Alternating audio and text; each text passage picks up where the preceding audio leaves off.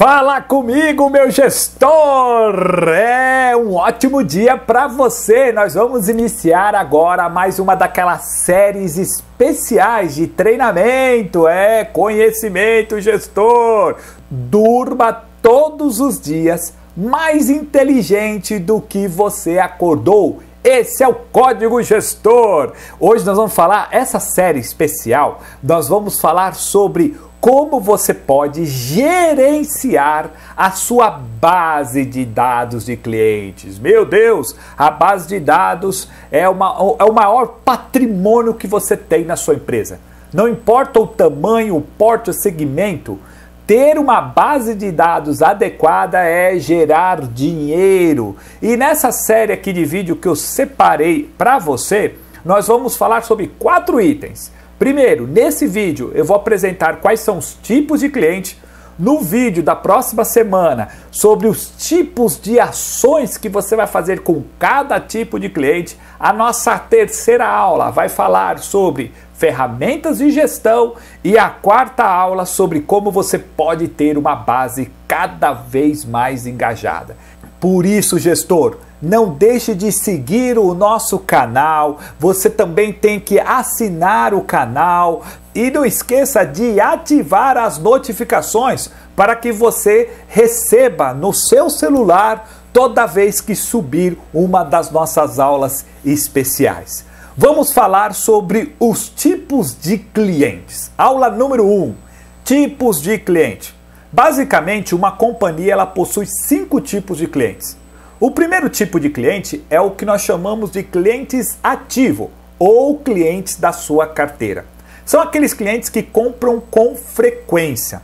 Em alguns casos, o cliente ativo é aquele que realiza uma compra em três meses, em seis meses, ou até mesmo ele é considerado um cliente ativo quando ele compra uma vez por ano. Mas em outros segmentos, o cliente ativo é aquele que compra até diariamente, por exemplo, no caso do supermercado. No caso do supermercado, de uma padaria, cliente ativo é aquele que todo dia vai lá comprar alguma coisa. Então você tem que definir qual que é o seu cliente ativo e verificar se você, quantos que você tem na sua base de dados de clientes ativos. Em média, a maioria das empresas que eu trabalho, que eu escuto, as lojas, entre outros, se considera como cliente ativo aquele que fez uma compra de, dentro de três meses. Então fica aí a dica para você é, examinar e verificar quantos ativos você tem. É claro que se você tem clientes ativos, você tem um segundo tipo de cliente, que são os clientes inativos. Os clientes inativos foram aqueles que de alguma forma deixaram de comprar de você ou quando ultrapassou esse período que você determinou como cliente ativo. Vamos supor que você determinou que um cliente ativo são aqueles que fizeram alguma compra nos últimos três meses. Então, o, quando o cliente ele fica 91 dias, ultrapassa essa faixa de 91 dias sem comprar, ele vira um cliente inativo. Agora, muitos confundem o cliente inativo com dois tipos de clientes. O próximo é o cliente temporário. O cliente temporário é aquele que comprou com você ou compra com você quando acontece uma determinada situação. É, o cliente temporário é aquele que vai comprar algo de você e só vai voltar a comprar quando surgir aquela mesma situação. Um exemplo bem clássico disso são, às vezes, é no material de construção você tem um, um fornecedor, um cliente seu que está comprando para uma determinada obra que está próxima ali da sua loja, ele compra uh, o material contigo, mas depois que terminou a obra, ele só vai voltar a comprar com você ali se por acaso ele conquistar uma nova obra ali na sua região. Então ele é um cliente temporário, ele não é um cliente nativo. Porque o inativo é aquele que comprova de você, deixou de comprar, mas continua comprando do concorrente, porque ele precisa daquele item. Há um outro tipo de cliente, também dessa categoria de inativo, que todo mundo faz uma mistura e está errado, é o cliente ocasional. Os clientes ocasionais são aqueles tipos de clientes que só compram em determinado período do ano ou em ocasiões bem específicas. É o caso daqueles clientes que às vezes ele compra com você, mas faz uma compra uma vez por ano. Exemplo, eu trabalhei uma vez numa loja de tinta que havia um cliente ocasional que ele fazia uma boa compra uma vez por ano de uma determinada tipo de tinta, de um determinado tipo de tinta, que era o momento que ele parava a fábrica para é, fazer essa pintura especial. Então ele, eu já sabia que ele só comprava uma vez por ano.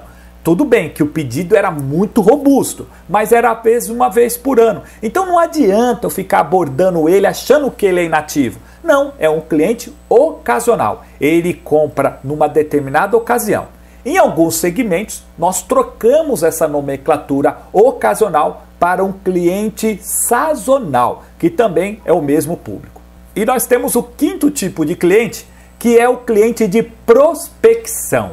É, são esses clientes que você está trabalhando para gerar um futuro cliente para transformá-lo num cliente ativo. Note só o que você tem que fazer, gestor. Você tem que higienizar a sua base de dados, porque a base de dados é o maior patrimônio que você tem na sua empresa. E por isso você tem que atualizar com constância. Segundo estudos, mostra que 30% da sua base de dados está, está desatualizado.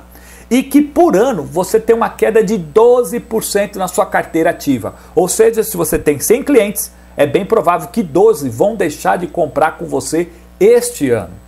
Por isso que você tem que higienizar a base de dados, criar ação para aumentar essa sua base de dados.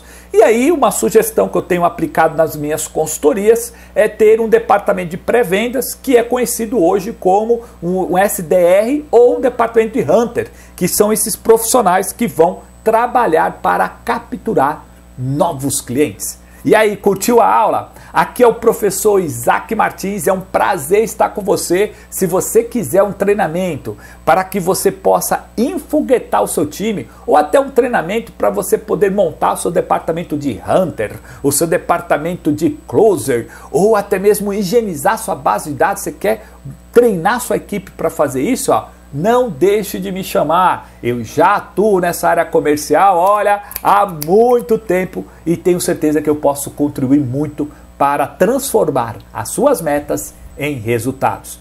Se me siga nas redes sociais e até o próximo vídeo.